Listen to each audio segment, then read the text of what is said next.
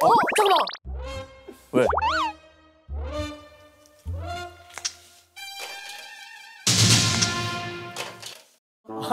치약을 먹었어. 치약을 왜 먹어?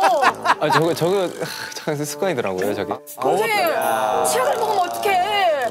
그래도 기한 오빠는 치약을 안 먹어. 아니 저 아니 아니야, 나, 나 저렇게 해. 그러니까 치약을 입에 짠 거야? 어. 왜? 굳이 여기에 짜서 이기 네. 싫은 거잖아.